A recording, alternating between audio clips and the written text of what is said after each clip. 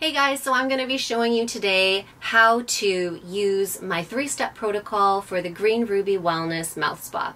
So the first step is step one, and what you are going to want to do is take your toothbrush, your soft bristle toothbrush, and dip it into water, run it under water, give it a little shake, and then open up step one, dip your toothbrush in, and then brush like normal.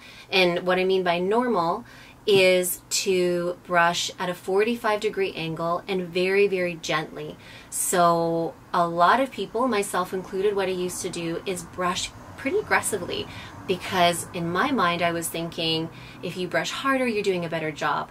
However, that is the completely the opposite case when it comes to brushing your teeth because gentle is better because we are wanting to really pay attention to our gums and to make sure that we're not causing any gum recession by brushing them away too vigorously.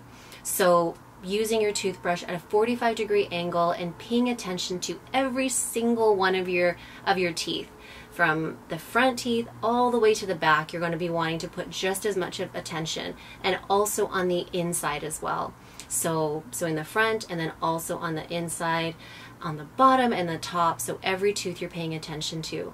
And then you can spit it out and then you can use step two. And step two is the alkaline rinse. So with that, what you're wanting to do is pour the alkaline rinse into a little cup or a shot glass and swish it around your mouth for about 20 seconds so just like you would normally with your mouthwash, and then you can spit that out. If you feel that there is a little bit of residual still of step one, if you're using the charcoal uh, charcoal one for whitening, then you may want to do two rinses of your alkaline rinse. Um, just use your judgment with that. So once you're done step two, what I like to do is the flossing and the tongue scraping next. And some people like to do the flossing and the tongue scraping at the beginning. It's your call. Whatever you feel uh, works best for you and makes sense to you in your mind, just do that. I mean, the bottom line is floss and do tongue scraping at sometime during this routine. so um, that is what I recommend. So for me, I do it after step two.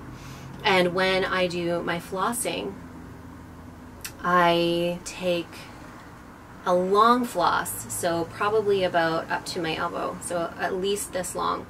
And the reason why I make sure that is so long because you are wanting to use a fresh piece of floss for every bit that you do in between your teeth. You are not wanting to move any bacteria or anything around your mouth.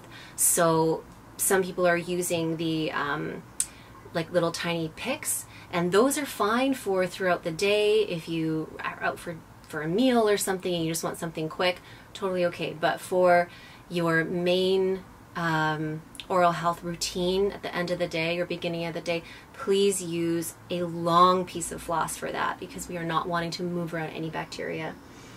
And then so the um, the tongue scraping is a Ayurvedic technique which is amazing for making your breath really smell good, for taking any bacteria that is on your tongue, and also for helping you. I'm sorry, that's my dog. And also for helping you um, taste your food better as well. So, for a million reasons, tongue scraping is a really, really good um, thing to do, uh, minimum once a day. So, how you do this is you put your tongue scraper at the back of your tongue, press down firmly, and then pull out. And you can do this once or twice, and you'll notice that there is a little residue on your tongue scraper, and that's just all the bacteria and buildup that is coming off. So it's actually very um, satisfying when you see that because you can see um, what you are doing and what you're taking off. So the last step, step three, um, that is the oil pulling. And this is, I mean, they're all, they're all my favorite steps, but maybe this is like my most favorite step because this one is when I would encourage you to do the meditation or the um, taking the time to do some affirmations as well because I would encourage you to do the oil pulling for minimum one minute um, up to 10.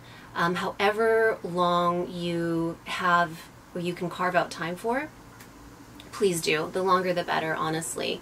Um, so in your kit, you may see that there is a little sticker of um, some affirmations that you can put onto your mirror, um, or you could use some YouTube videos that you find that are inspiring, or even just saying something to yourself that you feel at this moment is really uh, pressing and you feel called to to say to yourself, because there's you know a lot of people feel that you know I don't have time to do the affirmations or to do meditation. However, if you're going to be looking after your oral health, this is built in to the system, to the three step system, is taking some time for some self care. So while you're doing step three, swishing the oil in your mouth, um, much like you would do step two. So just like that, you're pulling it in between your teeth and it's getting everywhere in your mouth. And this is what is so important because brushing your teeth with step number one, or with any just brushing your teeth in general, is not getting all of the surface of your mouth. So you're not really cleaning um, all of your mouth. But when you are using step one or step two and step three, that's what's getting everywhere and what's healing. And the oil, again, um, like I said, it's an Ayurvedic technique protocol and it is so healing. It helps you whiten your teeth, freshen your breath, heal your gums, any any kind of dry mouth. It's pulling the bacteria out of your body, and then you spit it out, and you can spit it out into the trash or into the toilet um, when you're done. But you are wanting to just do this for as long as you can to really maximize the effects, effectiveness of this. Um, and if you feel called to, you could also take a little bit of step three and then massage it into your gums at the end of the evening. And that should be something that is the last thing that you do before you go to sleep so you can feel, or you can feel, or your body can have the healing um, all night. Uh, so that is something that I would recommend as well. And I'm also going to be coming out with a, uh, a night treatment as well um, to to help facilitate that as well. Some extra healing for the nighttime. So that is a little summary of step one, two, and three. And I hope you love the product as much as I do. And I am so excited to hear how this has helped you. And um, please get in touch with me if you have any questions at all. And uh, thank you again. All right, I'll talk to you later.